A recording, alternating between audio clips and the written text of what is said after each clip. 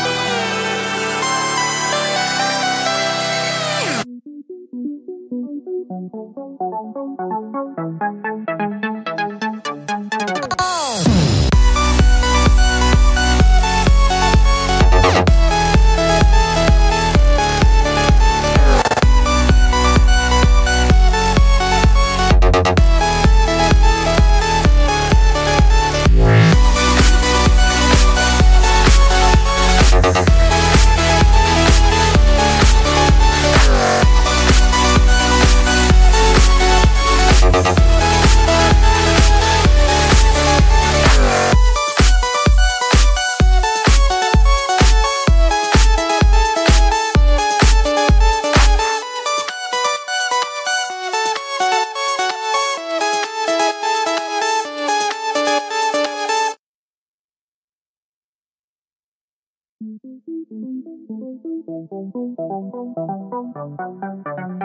you.